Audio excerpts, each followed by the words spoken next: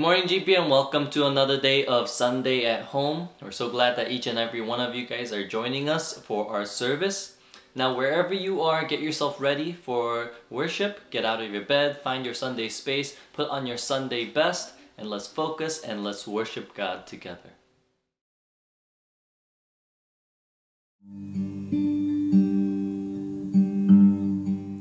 You can have it all,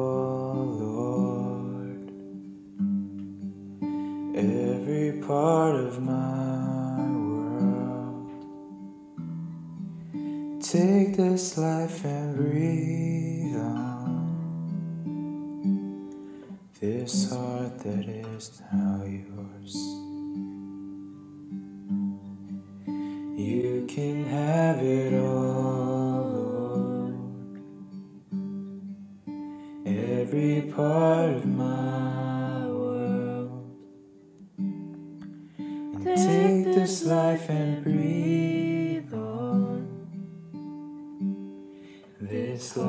that is now yours. And oh, the joy I've found surrendering my crowns at the feet of the King who surrendered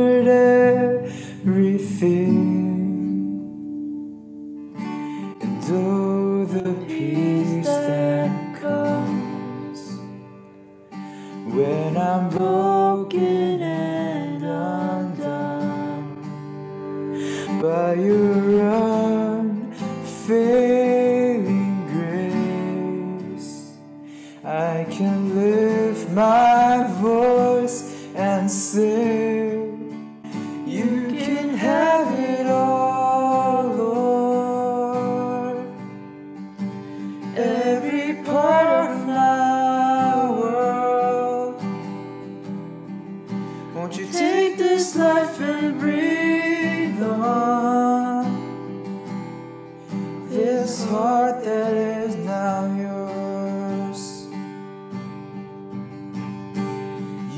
can have it all,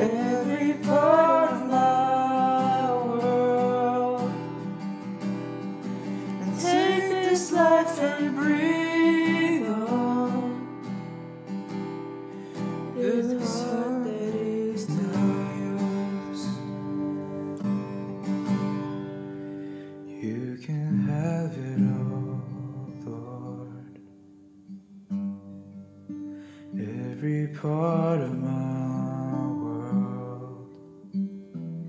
Won't you take this life and breathe on? This heart that is now yours.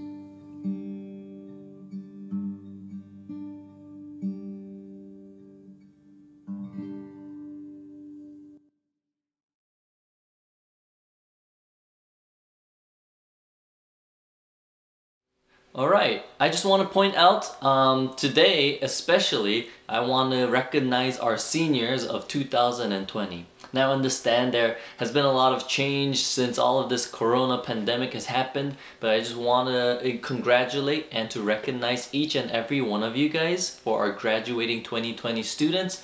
Congratulations, you've made it, you've graduated, and you guys are moving on to far greater and bigger things in this life. Um, so I just want to say um, congratulations. I'm so sorry that we couldn't have a senior banquet or we couldn't have our senior trip, but I promise we'll make it up to you in one way or another. Uh, so let me pray for you guys as we launch you out into this crazy, crazy world this week.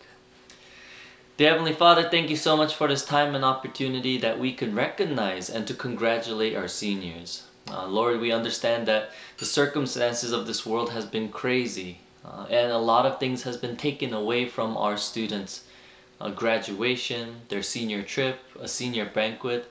Uh, Lord, but in whatever cases, in any circumstances, we recognize that no matter how difficult the circumstances can be, there's one thing that is never taken away from us is that your presence and you yourself given unto us.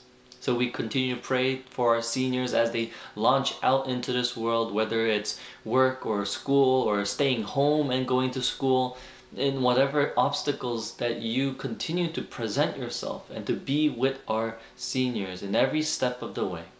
And Lord, we continue to pray for each and every one of our seniors that they continue to fulfill their life and into living and loving like you did in this world. All of these things in Jesus' name we pray. Amen. So congratulations once again, seniors of 2020. Um, all the rest of you guys, please make sure you guys congratulate our seniors as we launch them out officially from GPM. Alright, thanks for joining us once again, GPM. Uh, last week we started a new series called Mission Impossible. We talked, um, we looked at what it meant to be agents of God here on this world, to carry out and to fulfill His mission. The mission was very simple to love God and to live like God, and to show and to continue to teach uh, and share the gospel of the good news to others around us. And sometimes we feel like that mission seems so impossible to us. But last week we took a look that no, it, you know, we don't we don't have to wear disguises as these agents of Christ. We don't have to make fake stories. We don't have to um, fake our relationship with God, but rather it's in our realness as we are real with our neighbors, as we are real with God, as we are real with ourselves. That's when the mission of God is truly carried out in our life. And so I gave you a challenge to be real with your parents, your siblings, uh, whoever you are around, and to show God's love to them. Uh, this week we're kind of carry on with that theme of carrying on God's mission here on earth. But before we do that, uh, one of the favorite memories I have of preschool, uh, well, well, elementary school, is show and tell. Right? Every week I would wait until that Friday of the month where we would have show and tell. And we would have this roster going down and then each student, um, I think we had two or three students come up doing show and tell, and I could not wait for my turn. Uh, but I distinctly remember one day, one of my teachers, right, teachers also had show and tell, he brought in his pet snake. Right, it was the first time I encountered a snake up close, uh, and I was able to touch it and like feel it and play with it. It, it was amazing. But the thing about show and tell, right, is that you have to show and then tell about the item? What if we had show and tell, but the only thing I did was show and not tell? Right? Or how about what if I only told but not showed? Like the item that I have in my pocket right now. Let me describe it to you. It's pointy, uh, it's colorful, uh, it represents something in this world. How, how good is that kind of show and tell? Or if I actually just showed you the item, uh, but I never told you anything about it, what this is, where it came, you know, why I have it, and whose it actually belongs to, right? Uh, that's not show and tell. The, the core essence of show and tell is to bring an item and to show it and to tell your friends about the item, why it means so much to you, and why it's special to you, and why you have it. And in order for us to have a successful show and tell, uh, not just in terms of bringing items and talking about it, but rather what we communicate and what we show, we need to do both. What we say needs to line up with what we do, and what we do needs to line up with what we say. Now think about a time when you know somebody, or, or maybe yourself, who said something, but your action didn't follow through. Or maybe the opposite way. All right, you did something, but you never really communicated that action. Um, just now, I told Pastor Rachel, uh, "I love you," and then she was like, "You know, it's easy just to say it. Why don't you show it to me?" Right? Likewise, um, show and tell. We, in order to communicate our ideas and to communicate our heart to our friends, our neighbors around us, we need to both show and we need to tell. And that's the case with the mission of God as well.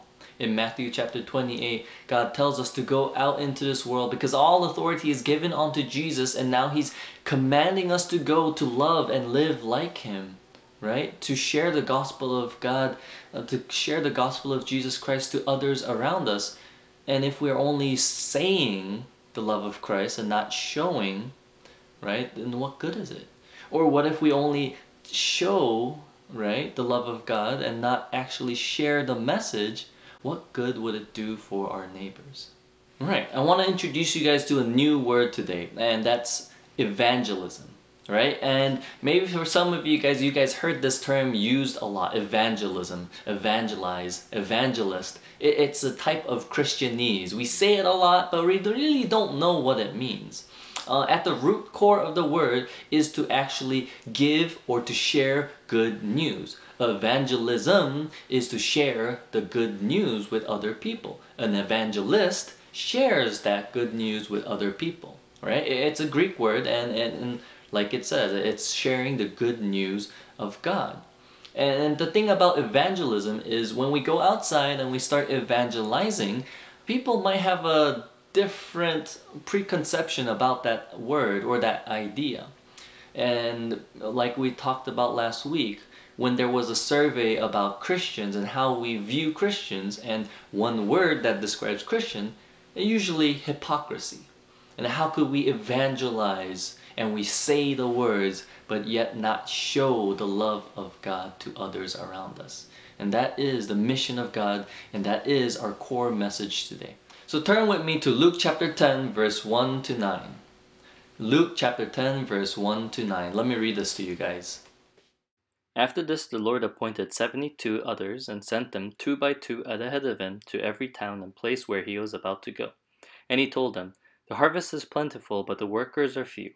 Ask the Lord for the harvest, therefore, to send out the workers into the harvest field.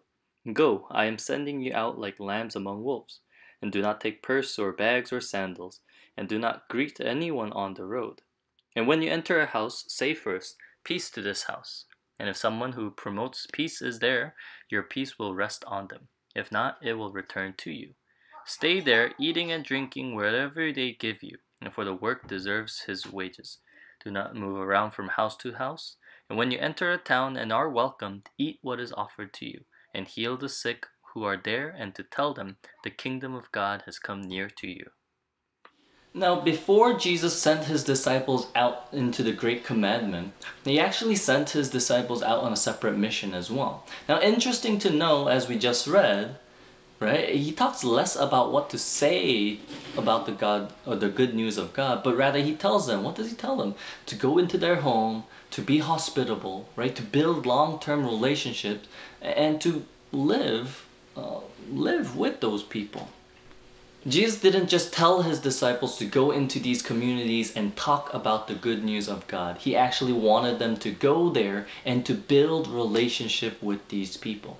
And it's through these building relationship with these people, they are doing show and tell. Right? Not only are they sharing and telling about the love of God, but by their actions they are showing the love of God to them.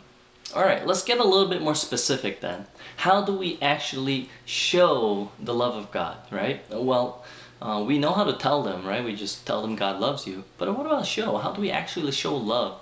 Well, I think today I want to focus on we want to be helpful. We want to build positive influence. We want to influence others for benefit, for good, right? And how do we do that? By our action, we influence them, we build their trust, right? We value them, right? With our action, we lift them up.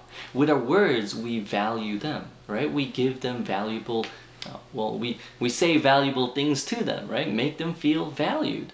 And by our action, right, we make them feel valued. And as we value other people more than we value ourselves, right? That's when we start building credit, when trust is built. And that's one way that we could actually start showing people the love of God. And as we continue to value others, we're going to start building trust and we could start influencing them. Think about it. Who do you listen to? Right? Who do you trust? Do you just trust and listen to a random stranger that comes up to you? Or do you listen to your coach, your teacher, or maybe some of you guys, your parents, or a friend that you trust, like an older friend? right? Because those people have over the years, over the time, have built influence and built trust in you. They valued you, therefore their words are valuable. And that's why we can trust them and we could listen to them. Likewise, in order for us to not only tell the love of God, but to show the love of God is to value other people. And as we grow in our trust and influence with them, we let them know how much God loves them and how much we love them as well. Alright, so let's take this one step further. How can we show the love of God this week? Well, very simple. All you gotta do is perform CPR, right? CPR. C, we care for our neighbors. P, we pray for our neighbors. And R, we respond to our neighbors.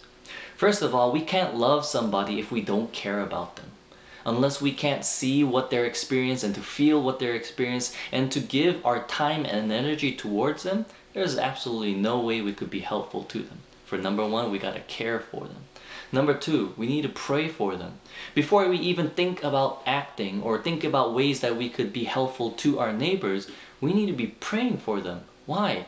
Because unless God helps us in this mission, we are bound to fail in it and are respond right? We thought about it, we prayed about it, we cared about it. Now we got to put our words into action. Think about ways, brainstorm ways that we could respond and to help and to love our neighbor. CPR. It's very simple to show the love of God and to tell the love of God to our neighbors today.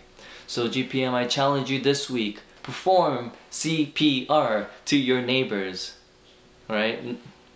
not that kind but you know what I mean perform CPR to your siblings to your um, your mothers and fathers uh, people that you live around especially in this age like I said we're getting kind of friction with each other let's let's show them the love of God that even though they are annoying even though we're on edge with one another let's show them uh, let's tell them the love of God that even if this world is changing like everything is changing that God remains the same, that He loves us no matter what. So GPM, let's continue to show love to those around us. Now, maybe some of you guys are thinking, well, you know, you know, joining God in this mission, I don't feel ready. I don't feel confident. How could I make that step to show love and not just tell love about God? Well, um, think about this. Think about this deflated balloon is your influence to your neighbors, your friends, whoever it is around you. right? Maybe you just haven't actually shown them that you care about them or you value them yet. But here's the thing the more we value others and we more we value our friend, our influence grows. And as our influence grows, the more likely they will listen to us and as we share the gospel with them. So the next time you hear a friend who's having a hard day, encourage them, value them, and you're going to grow their influence or grow your influence with them. Uh, maybe you have a hard day and you have a fight with your parents. Reach out, apologize, and grow that relationship together and value them. And you're going to grow your influence with them. Whatever it is, uh, as we grow our influence and to value others around us, we're going to grow our influence with them. And as we do so, they are more and more likely to listen as we tell them about the love of God uh, to them. Right? So, GPM, this week, let's not just be tellers, let's not just tell the good news to people around us, but let's show them with love the good news and the love of God to our neighbors around us. Let me pray and let's wrap up our service. Dear Heavenly Father, thank you so much for this time and opportunity as we continue to explore your word, as you continue to invite us into your mission to love and to live like you did. Lord, we understand that sometimes it's so hard to just uh, show other people love and to show them that we value them. But we ask that the Holy Spirit continue to help us to do that this week. Uh, as we continue to do so, let our influence grow with them. Let our trust grow with our neighbors, that we could continue to show and to tell them the love of God. Lord, thank you so much for this time and opportunity and all of these things. In Jesus' name we pray. Amen.